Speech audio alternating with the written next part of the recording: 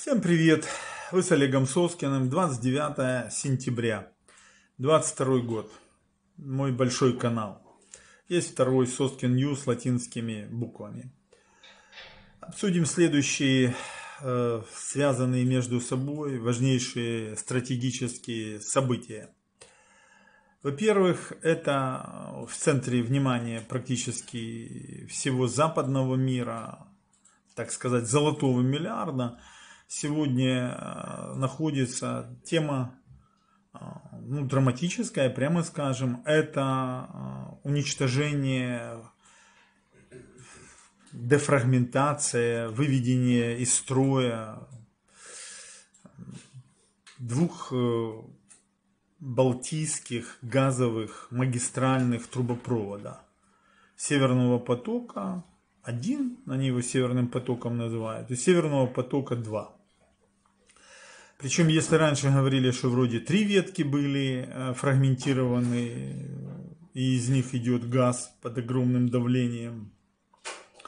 В Северном потоке, как известно, технически был закачан, а в Северном, 2, э, а в Северном потоке 2 технический газ в двух. То есть всего четыре э, имеется нитки.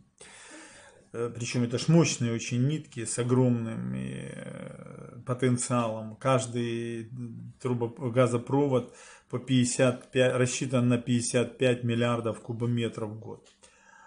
Итак, а Северный поток один там находился тоже газ, потому что по нему идет постоянно так или иначе поступал газ в европейские страны, ну в Германию прежде всего, а потом распределялся по другим странам.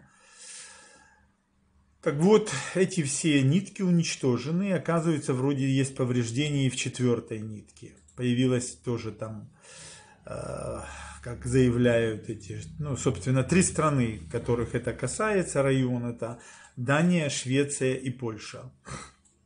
Якобы четвертая появилась уже, э, так сказать, выделение газа э, на уровне четвер... месте расположения четвертой этой нитки. А, ну, последствия, да, каждая ниточка так на минуточку стоит 6 миллиардов долларов, может даже больше, может даже больше. А в каждой нитке там э, достаточное количество газа, который там, теперь выходит. И где-то говорят к концу недели, то есть, ну, видимо, если сегодня 29 30 ну к первому так точно уже весь газ точно выйдет из этих э, трубопроводов. Повреждения там очень большие, там дыры целые, там прямо дефрагментация чуть ли целых кусков не осуществлена. И э, как только ну, давление уже слабеет, и теперь в, этот, в эту трубу пойдет соленая балтийская вода. Вот. Как только вместо газа там будет уже вода балтийская, то начнется эрозия этих труб. Причем она хлынет и в одну сторону, и во вторую, самотеком, или как там она пойдет. Таким образом, практически два этих проекта, по сути, уничтожены. Отремонтировать их, ну а как их отремонтировать, если введены санкции? И нет такого у Москвы и Российской Федерации оборудования, чтобы это сделать, а Германия не может в этот процесс войти, ее фирмы. Ну, тогда получается, что по сути, там поселятся какие-то э, морские, так сказать, организмы, рыбки там, ракушки, рачки там и все прочее в этих трубах. Вот. Таким образом, этот проект и Северный поток-1, и Северный поток-2, ну, как с моей точки зрения, уходит в небытие. Последствия, конечно, экономические, финансовые, энергетические, экологические, геополитические, а, ну, катастрофические, по-иному нельзя сказать. То есть эти проекты заняли, начались они еще когда? Ну, это где-то, наверное, при, после помаранчевой революции, так я, насколько помню. То есть это где-то там 2004 год. Вот. То есть им уже, собственно, одному проекту и потом второму, это до 20 лет. Но если их там еще были, пока это разработали, пока э, сделали инженерные разные э, чертежи, там расчеты и так далее, и так далее, то есть это где-то 25 лет. Это, то есть это целая жизнь целого поколения. Ну вот, получается, что это все вылетело, как я вам уже говорил вот вчера в своем э, видео, это все вылетело в трубу. Последствия. Э, последствия для Европы, собственно, их уже никаких нет, потому что Европа уже приняла решение западное отказаться от российского газа. Поэтому чуть раньше, чуть позже, естественно, они бы уже, этот Северный поток-2 и так не использовался и не был введен в действие. А Северный поток-1, он уже остановился, московиты его сами законсервировали, остановили, ссылаясь на эти турбины, на чертежи, на всякую прочую э, галиматью, которую они придумали. А, поэтому по нему газ тоже уже почти не поступал в Германию. То есть, э, по сути, Российская Федерация, ну, глава э, этой Московии, э, тиран Путин и его окружение, они приняли решение, что уже будет Северный поток 2 они уже поняли, не будет использован, ну и Северный поток 1 им тоже не нужен уже, поскольку по нему газа тоже идти не будет. Вот. Поэтому для России этот проект утратил абсолютное уже значение. Абсолютное значение. А если он утратил значение, то тогда что? Ну, как бы деньги они отбили э, по Северному потоку один и там в разы, как говорится. А работать эти два потока не будут. Турбины они остановили, Siemens они фактически выбросили, санкции наложены. А, после того, как они осуществили так называемые клоунадно-фарсовые беззакония в виде, назвав их референдами по присоединению оккупированных территорий Украины, а, они понимают, что уже ни при каких обстоятельствах а, трубопроводы не заработают. Сейчас они уже ведут э, угрозы, дали НАК нефтегазу, сказали, что если э, НАК нефтегаз не украинский не, э, не отзовет свои претензии к «Газпрому» по транзиту и по цене, то они прекратят поставки газа и по украинским газопроводам. Скорее всего, это и случится. То есть они четко определились, э, московиты, что по трубам газ они поставлять на территорию Европы ни через Украину, ни через Балтийское море, ну, естественно, и через Беларусь, что? Не будут. Не через Польшу. А тем более, что Польша запустила а, Балтийский газопровод с Норвегии в Польшу. Таким образом, как бы, тогда надобность в этих трубах для Путина абсолютно отпала. А если она отпала, то тогда что? Ну, логично, тогда надо совершить его уничтожение, как они всегда это делали. Как делал тот же Сталин во время Второй мировой войны, по мере того, как э, войска Германии двигались на территорию Советского, Советской империи коммунистической. Он делал просто, он подрывал эти все предприятия, была Днепро, это, Днепровская ГЭС взорвана. То есть все разрушалось, все уничтожалось.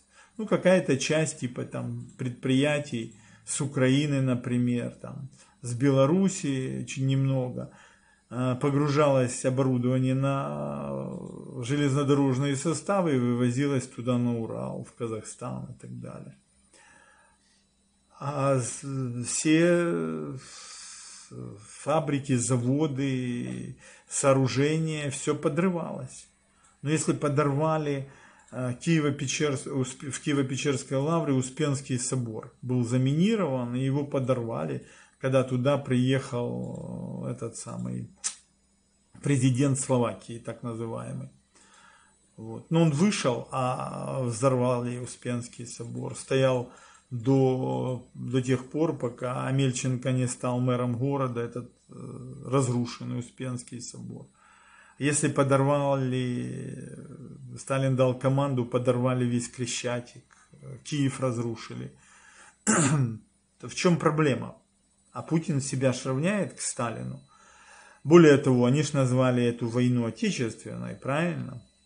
Они говорят, что Первая Отечественная это была там 1812 год, потом была Отечественная типа а вот э, во время Второй мировой войны, и сейчас тоже Третья Отечественная а, война. Ну, правда, еще Караганов говорит, что 1914-18 тоже была Отечественная война. Ну, тогда можно вспомнить, что еще у них была Отечественная война. Это когда после смерти этого садиста, ненормального, умалишенного Ивана IV, так называемого московского царя, когда он сдох, вот, э, тоже у них же была смута величайшая, потом типа была Отечественная война Минина и Пожарского, да, тоже еще была одна война, когда была типа появилась новая царская династия, уже не Рюриковичей, это, собственно, Романовых они их назвали, хотя это было, это там Кобыла или как там, Оглобин, там, Кобыла, чуть ли не Охлобыстин. Вот, э, тогда они избрали этого первого Михаила, если не ошибаюсь, да, 1900, в 1613 году, в 1913 300 лет они праздновали. Они любят праздновать все. 300-летие дома Романовых. Там уже не осталось никаких Романовых, ну типа дом был. как известно, там все были это с разных там германских курфюст там и так далее, там уже никакого не было, никакой там крови, это, тем более там русичей, славян, там рюриков и так далее. Вот, такая у них была байда в этот период. Поэтому, наверное, если они оттуда будут считать от Минина и Пожарского – Потом у них будет 1800, они считают, 12 год, тоже очень темная история с этим Наполеоном, с этим сжиганием Москвы и прочими вещами. Это у них Вторая Отечественная война. Третья Отечественная война, Караганов говорит, это 1914-18 год. Четвертая это уже Сталин, вот так сказать, 1941 в рамках Второй мировой войны. Ну вот, Тогда по 600, 800, э, это самое, 3, 4, пятая. Получается пятая отечественная война у них, путинская отечественная война. И тогда что? Если исходить из э, выступлений, ну всех уже буквально, и Путина, и Лаврова, и Медведева, и Володина, ну вот вся, вся верхушку, если взять, говорящую, ну Пескова, само собой, то выходит, что главная мысль, Шойгу, кстати, э, что э, цель уже не Украина, потому что в рамках э, того, что они планировали в Украине, они по сути своей генерально не достигли.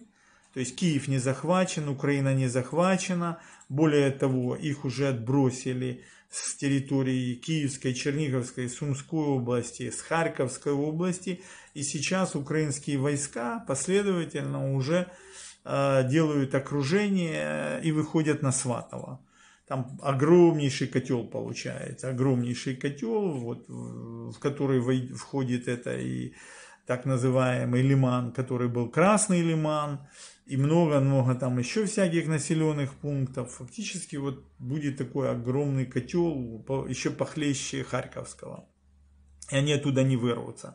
Вся эта болтовня, что они что-то там делают, добиваются, сражаются. Очень интересно, посмотрите, этот э, крик, э, совершенно уже истерика была у этого Шапира ну, этот, его называет э, Андрей, этот наш депутат, называет его соловиным пометом. Не знаю, видно, он Гончарук разбирается в пометах соловьев. Вот, еще что у них соловей есть другой там, да. Ну, вот Шапира. Шапира, он себя называет почему-то соловьев, хотя по матери он Шапира. Почему он отказывается от своих корней, ашкенази, ашкеназов по матери, от идиша, непонятно. Вот. Также, наверное, нельзя для них, правильно я понимаю? А, ну, он типа себя позиционирует, вот как Кедми, он же Казаков на самом деле, но говорит, что он Кедми. Ну, у них так все время сделано. Ну, в Украине то же самое. Тимошенко, а на самом деле она Григян, тоже. То есть вот эта привычка отказываться Порошенко на самом деле же вроде как он не Порошенко, да, или Кличко на самом деле не Кличко и так далее. И тот же этот, как он, тягный бог, не тягный бог. Вот это все, а, все время меняют свои прозвища. Ну, Путин, он же тоже не Путин, а Шаломов. Да. С Кучмой надо еще там тоже разбираться. Там. Вот. Это все клички, клички какие-то. Это специально меняют. Там Троцкий, он Бронштейн, Зиновьев, Каменев, там Ленин, Ульянов, Блан, вот Сталин, Жуашвили, Гитлер, Гитлер, Шекельгрубер. Вот это все, вот эти все недоноски, они всегда меняют свои, э, отказываются от своих корней, меняют фамилии свои. Вот. Но не, дело даже не в этом. Дело в другом. Дело в том, что вот э, у этого Шапира, который там все время выступает, да, в этой Сталинке, с ним случился припадок страшный по поводу этого Лимана и 20-й армии и всего прочего. Там команду он начал давать. Вот. Ну, уже он близок вот к каким-то событиям, видно, уже финальным. А речь идет о том, что будет котел. Вот это первое, как бы, то есть второе. Первое, это то, что я вам рассказал, это уничтожение вот этих э, ниток двух э, трубо, газопроводов. Еще раз говорю, официально как бы каждая стоимость одного 6 миллиардов долларов. Но она больше. То есть это 6,4, 24 миллиарда долларов. Так, вместе с тем газом, который был закачан, вместе со всеми остальными последствиями. То есть это вообще колоссальная финансовая и прочая катастрофа. Ну, как говорился, Путин, видимо, думает так, снявшие голову по волосам не плачут, да? То есть они им уже не нужны, уже не будет трубопроводного поставок газа через трубопроводы, все в том числе и через украинскую и белорусскую систему. Это очень важно понять на сегодняшний день. И через польскую. Очень важно понять эту, этот э, вывод, который я вам делаю. Следующее, то есть э, следующий вывод это то, что украинские войска наступают и будет э, Подоляк, э, Михаил сказал, что Подолян, что будет э, важно, что может война закончиться, если будет взят один из двух городов, типа Донецк или Луганск. Ну, он, конечно, романтик, это однозначно. Вот, э, бывают такие вещи, никакая война не закончится, но то, что произойдут э, просто колоссальные и катастрофические для Путина изменения в случае захвата Луганска и Донецка, это сто процентов, и я вам про это все рассказывал очень много раз. И к этому все идет сейчас.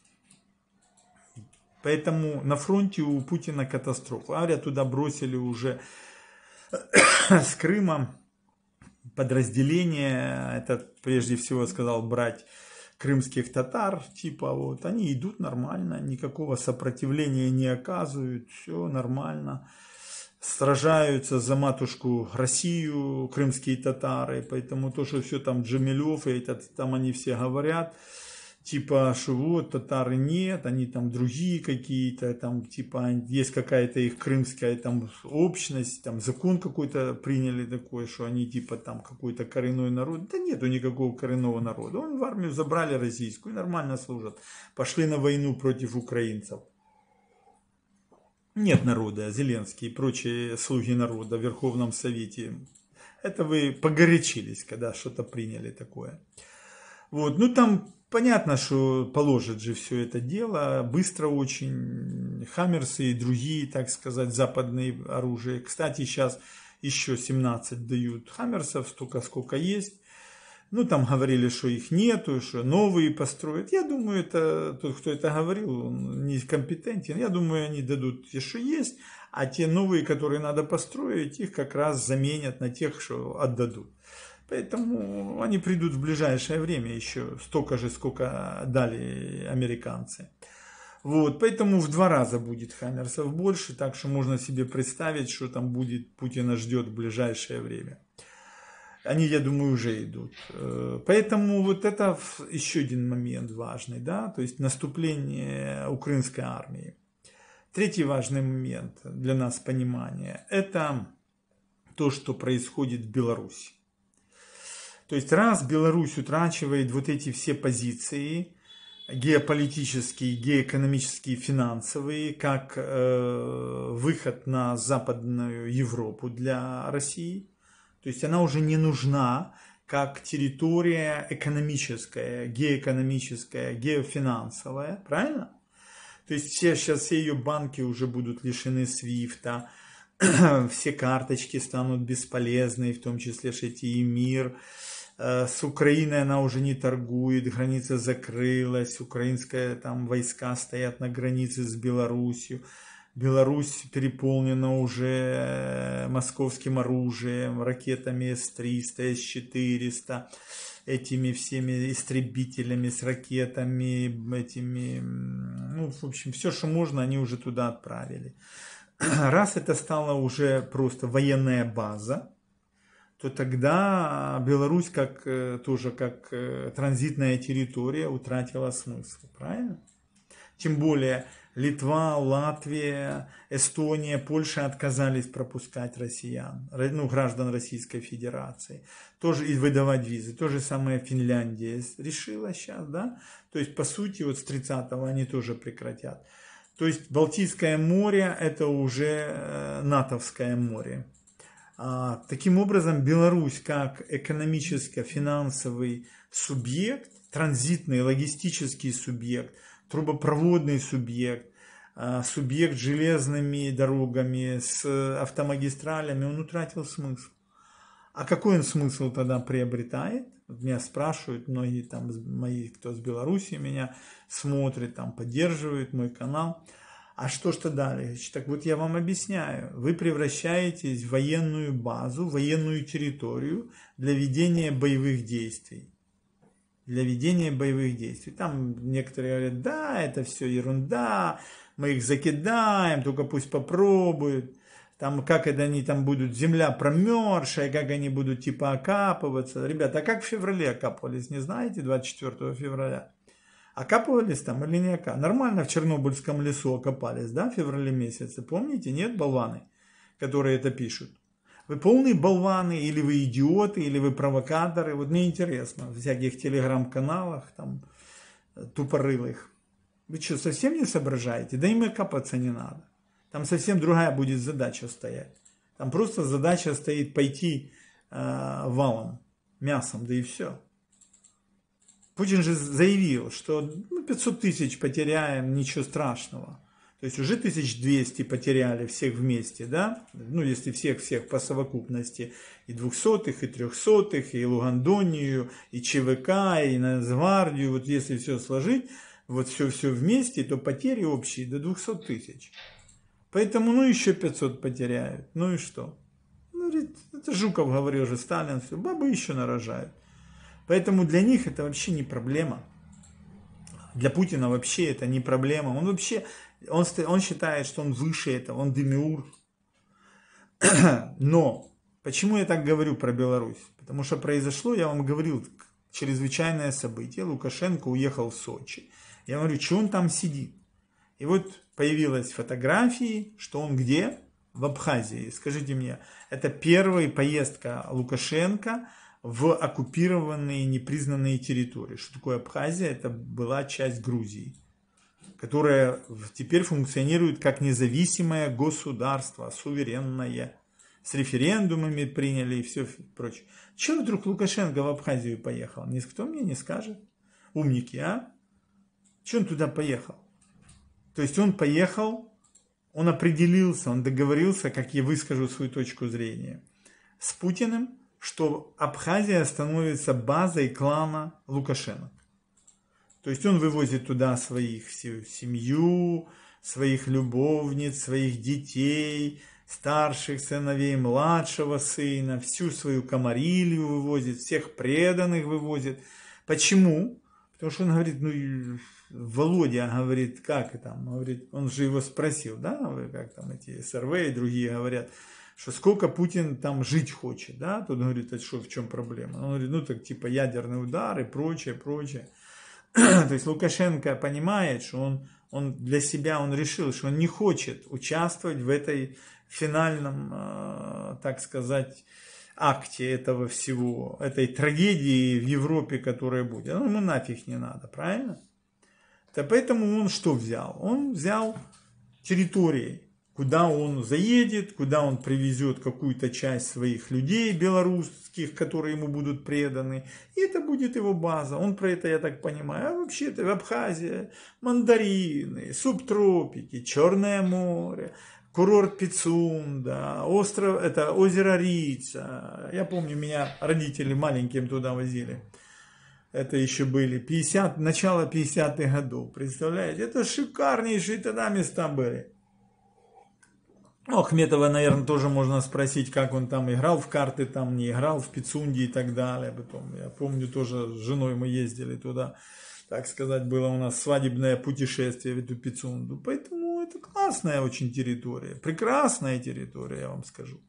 Население небольшое, бедное, разрушенное. И туда Лукашенко заедет со своими миллиардами, со всей инфраструктурой, со своими людьми, самыми преданными, и все курс завел и там, как говорится, осел. Поэтому вот, а если он это в самом деле делает, тогда он отдает территорию Белоруссии, вот Пинские болота и все это кому? Мне говорят, я его называю Вольфович, а мне говорят, там надо делать ударение Вольфович. Ну, ну, как говорится, ты, говорит, меня хоть этим горшком назови, только в печь не сади, да? что, что Вольфович, что Вольфович, э, от этого же как бы суть не меняется. Так вот, этот Вольфович Вольфович, он и должен, видимо, возглавить вот эту всю ситуацию, когда Беларусь превращается в военную базу, в авангардный такой ударный кулак по... Э, и теперь вопрос, по кому? Ну, наверное, по вот этим нашим городам, да, все же забыли уже 24 февраля, Чернигов забыли, да, Оболонь Киевскую забыли, я помню, э, это самое, Люся Немыра мне, Людмила Немыра говорит, Олег Ильич, они тут уже на Подоле, в Оболоне стояли, уже рядом были, уже вообще там, помните, да, этот наш этот полковник Арестович там рассказывал, как это все ужасно было, да, что он готов был погибнуть уже, да, но при этом звонил кому-то, ты, говорит, уже доехала до Черновцов или не доехала? Ну, многие же так делали, уже все забыли про это, да, теперь детей бьют на границе, которые поступили в иностранные вузы, но об этом я другой материал сделаю. Это ж уже, так, ребята, у нас, значит, те же самые, как в Москве парня этим э, частью гантели, так сказать, надругались над ним, над поэтом, над его девочкой угрожали там страшное дело. Так чем отличаются те, которые пар... уже несколько ребят побили э, в погран... на погранслужбе, полиция на Шагине, парня уже одного в, в больницу отвезли, второго студента, которых не выпускают, они поступили там в польский университет, вы что, совсем офигели. Значит, вы такие же э, эти самые э, гоблины, как у Путина, Зеленский, значит, ты тоже такой же. Раз ты так делаешь, значит, ты такой же, а как иначе? Залужный, значит, такой, Наев такой, Сирский такой. Значит, Залужный зря тебя там изображают на этих всех журналах. Значит, ты действуешь точно так же. И Резников. Был какой-то адвокат, да, во Львове. Там во Львове я был. Плюнь в адвокатов, там столько адвокатов, там все адвокаты, юристы. А стал, видишь, министром обороны стал. До этого был секретарь Киеврады у Кличко и Артура Палатного. Все классно было. Все выше и выше и выше, да, Резников вместе с Маляр. Еще кого-то взял бы там, штукатура взял бы какого-нибудь, там, плиточника, паркетчика, сантехника. Что только у тебя? Эти, как говорится, те, что поверхности красят, заместители. Видишь, разнообразие должно быть, плюрализм. Так вот, смотрите, э, я вам про это уже говорил. Я думаю, это очень важно для завершения такого этого материала. 26 сентября опубликовано интервью в профиле Сергея Караганова. Ну, почитайте, кто он такой. Я его помню еще по 90-м годам. Вот, сейчас он типа декан там высшей школы экономики, это бывшая при Кабмине э, Советского Союза, Академия была народного хозяйства. Вот я вам привожу его э, ответ один важный в этом интервью профилю. Э, ему задают вопрос. Последствия визита Пелоси на Тайвань э, ощутили на этом себе мир? Ну даже не этот вопрос, другой. А в какой мере американцы готовы втянуться в конфликт с Россией? Ну тогда по Тайваню Байден заявил, что они будут э, Тайвань защищать по полной программе. Тут тогда его спрашивают про э, конфликт с Россией. Будет так же? Когда и ответ э, Карагодина, Карагодина этого Сергея. Он говорит, когда на днях Байдену задали вопрос о применении ядерного оружия в Европе, он ответил, что Россия станет изгоем и что ее ждут ужасные последствия. Но он не сказал, что США ударят в ответ по России. То есть, если по Тайваню сказал, то здесь нет.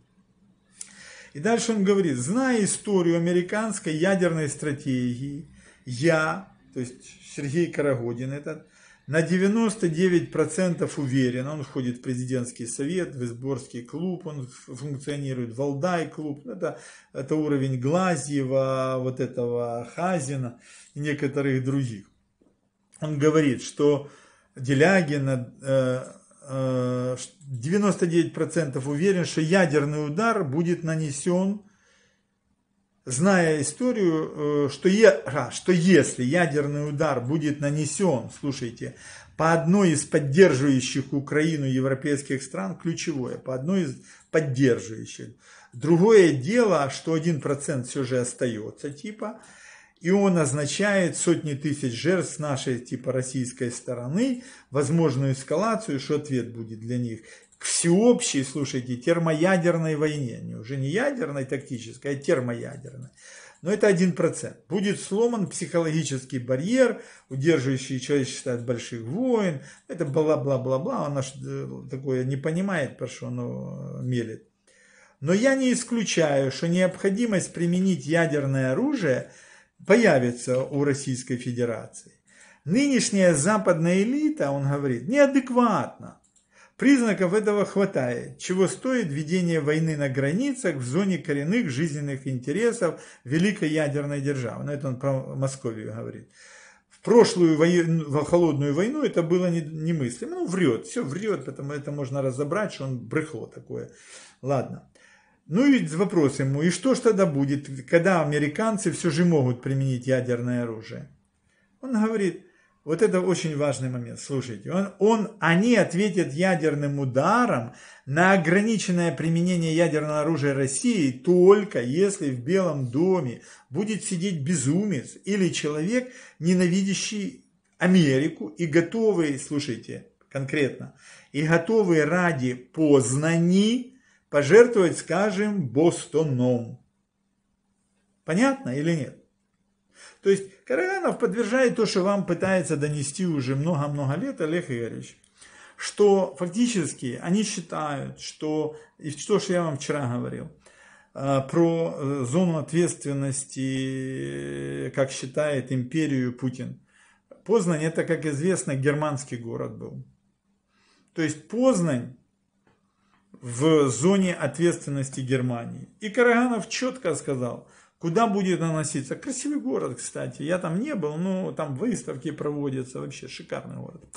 Вот куда будет. То есть цель как бы даже уже избрана. Познань. Не Варшава даже, не Краков, не Люблин, не Жешев, а Познань. И все уже к этому готово. И на 99% они уверены, что ничего не сделает США.